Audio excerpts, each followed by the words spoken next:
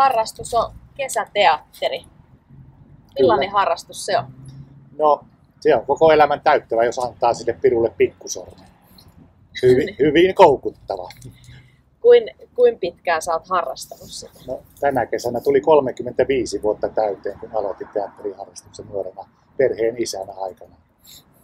No justiinsa aika pitkään. No, millaisissa tehtävissä tai äh, miten mä kysyisin rooleissa sä oot ollut siellä? No, alkuvuosina mä olin monta vuotta ihan näyttelijänä. Sitten mä olin pitkään kahteenkin otteeseen teatterin puheenjohtajana. Ohjasin muutamia näytelmiä, aikuisten näytelmiä, lasten näytelmiä. Ja tällä hetkellä nyt sitten on viime kesät toiminut tuottajana. Okei. Okay. No, sitten kun tätä kesäteatteriprosessia viedään eteenpäin, niin minkälaisia vaiheita siinä on? Kokemusta tietysti meidän, meidän teatterista, niin tuota, lukuharjoitukset aloitetaan joskus siinä tammikuussa. Tänä vuonna Teamsin avulla harjoiteltiin lukemaan ja sitten, sitten alkaa, alkaa sisäharjoitukset. Keväällä päästiin ulos harjoittelemaan. Koko ajan tehdään lavasteita, puvustusta, ääniä, kaikkea sitä, että harva tietääkään, että siinä sen näytelmän ulkopuolella on hirvittävän paljon kaikkea muuta, mitä, mitä pitää tehdä paljon paljon aikaisemmin itse näytäntökauden aikana. Joo. Pystytkö sä nimeämään sellaiset niin kuin roolit tai tehtävät, mitä ainakin vähintään tarvitaan? No tietysti hyvä ohjaaja pitää olla, että siitä mm. paketista saadaan kunnollinen. Ja tuota, äänentoisto on tietysti kesäteatterissa kanssa A ja O kesällä tuulee, suhisee, kohisee, sataa vettä, ääni pitää kuulua. Sitten loppu on, on näyttelijöiden käsissä, että se projekti on sitten kunnolla. No miten sitten niin kuin kaikki vaatteet ja lavastukset ja muut, niin tekeekö porukka yhdessä niitä vai onko teillä erikseen lavastajat ja puvustajat? Vuosien saatossa se on vaihdellut tällä hetkellä. Meillä on puvustaja ja lavastaja erikseen, mutta kyllähän me kaikki niin kuin lavasteet tehdään talkoilla. Lavastaja on suunnitellut. Meillä on tällä hetkellä espanjalainen ammattilavastaja, joka on te- tehnyt ja suunnitellut. Ja hän siellä oli paljon mukana ja me muut sitten apupoika Anteroida pasaraa heiluttamassa.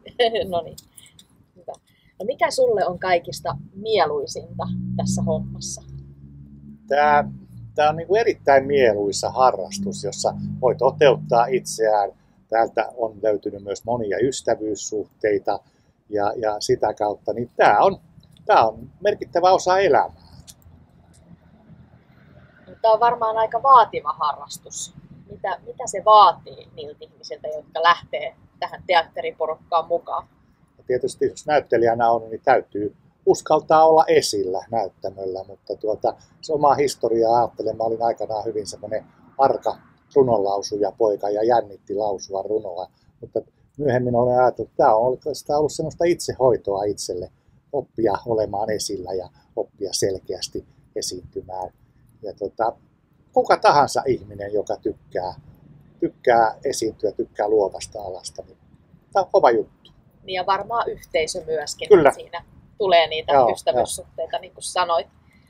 No, onko teillä ollut muita kuin suomenkielisiä näyttelijöitä tai teatteriporukkaa? No, tähän mennessä ei, ei ole näyttelijöinä ollut. Tosiaan niin kuin mä kerroinkin, niin meidän lavastaja on espanjalainen nyt, nyt ja kyllä meillä yhteinen kieli oli suomi, mutta, mutta englanniksi myös puhuttiin. Tietysti näyttelijänä äh, suomen kieli on taivuttava, kun näytelmät ovat suomalaisia kyllä, mutta tuota, ei mikään este olisi sitten eri asteisella suomen kielen taidolla tulla mukaan. Teatterissa löytyy kaiken näköistä tehtävää ja mukavia yhteisöllisiä ihmisiä. Niin ja eikö näyttelijän kuitenkin pidä opetella ne roolisuoritukset, niin se oikeastaan voisi olla hirveän hyvä suomen oppimisen kannalta. Kyllä. Joo. No, mm, sä jo vähän kerroitkin, että mikä tässä harrastuksessa on parasta, mutta tuleeko sulle mieleen vielä jotain lisää? Tuota, jos sillä 35 vuoden kokemuksella puhun, niin tota, tästä on muodostunut erittäin merkittävä osa elämää. Ja mä en voisi kuvitella oikeastaan itseäni ilman teatteriharrastusta. Et se on kasvattanut mua ihmisenä ja, ja tuota, antanut haasteita, tuonut onnistumisia, epäonnistumisia, mutta sitä kautta, niin kuin sanoin, niin kasvattanut ihmisen. Joo, kuulostaa merkitykselliseltä, isolta jutulta.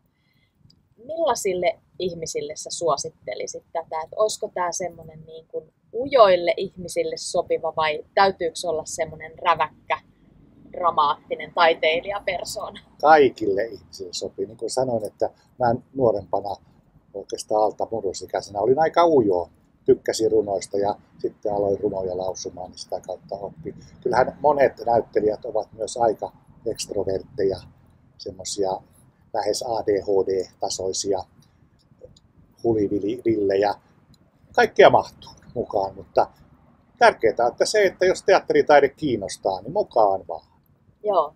Ja nyt on paras kausi kesäteatteria meneillään tai onko se jo vähän loppupuolella, mutta kuitenkin esityksiä on, niin voisitko vielä vähän kertoa tämän kesän esityksestä ja ehkä vähän suositella sitä? Meillä on Nastolan Pisara-teatterissa taidekeskus Taarastissa, joka on nykyisin osa Lahtea Nastola, niin brittifarssi Tupla Kupla, jonka ohjaa kansallisteatterinäyttelijä Petri Liski. Erittäin naurettava, vauhdikas farssi, jossa nätissä katetussa katsomossa järvenrannalla saa nauraa ja unohtaa tämän ympärillä kuohuvan koronaeläimen. Milloin on seuraava esitys? Seuraava esitys on huomenna 25.7. kello 14 ja sitten siitä, siitä eteenpäin vielä pari viikkoa, neljä kertaa viikossa. No niin, nyt kaikki Nastolaan huomenna. Kiitos Timppa haastattelusta. Kiitos. Ja onnea viimeisiin esityksiin. Kiitos.